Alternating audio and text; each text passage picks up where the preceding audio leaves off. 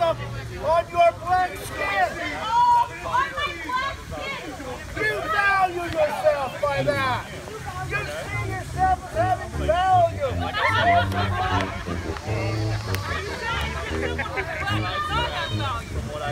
Hey, look, if I say that I have value, white, full of race, being a homosexual was the worst thing you could become. Here at ISU.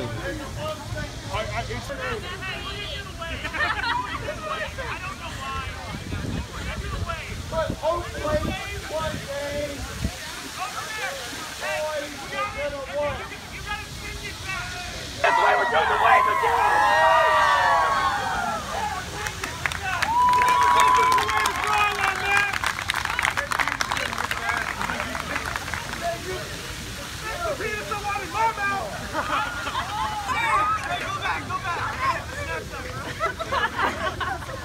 This seems kind of gay, you know.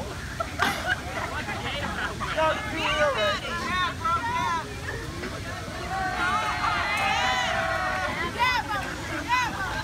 That's kind of true. That's kind of true.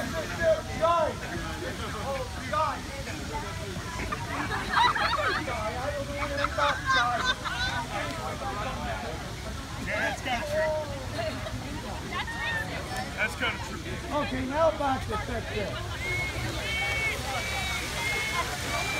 Okay, this is a more difficult question.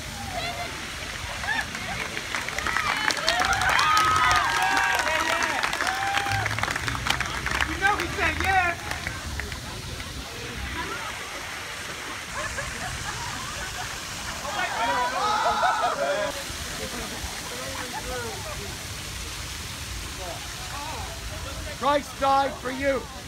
Will you live for him and put your trust in Jesus Christ? That's the only way. Your only hope. You've got a fight stand coming up. You're going to stand before God. You have an appointment with death. Final future, after death comes that judgment. It's a fearful thing. Oh, I want to prove again. Many Christians. The Bible says women professing godliness are the mother.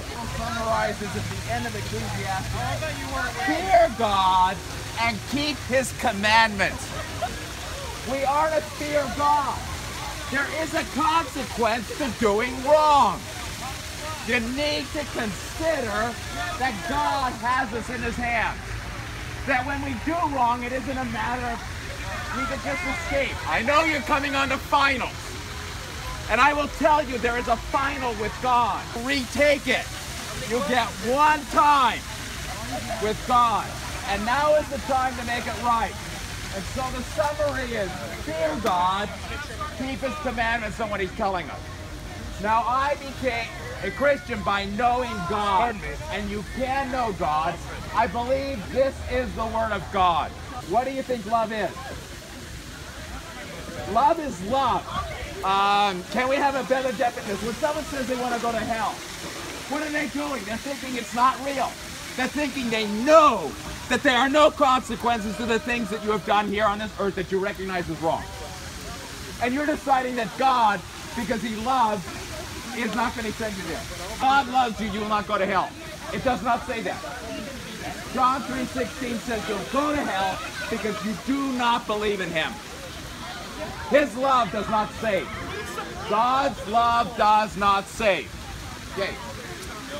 Love. You said love is love. Anyone have a better definition of love?